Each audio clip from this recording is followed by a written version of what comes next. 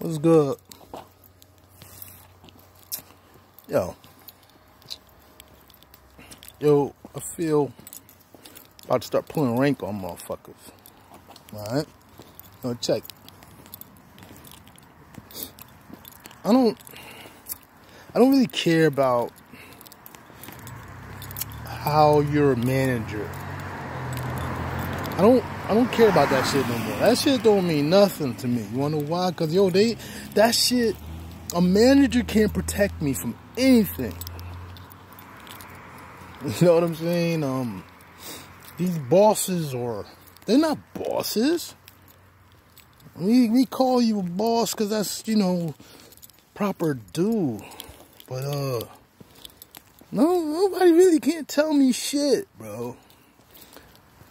And yo, I'm, I'm, yo, women, I'm, I'm sorry, man. I mean, I, I'm, I'm so, I'm so old school, man. You know, like for me, I'm like all a bitch could do for me is eat dick and drop her drawers, man. So I'm sorry, man. Get y'all weight up.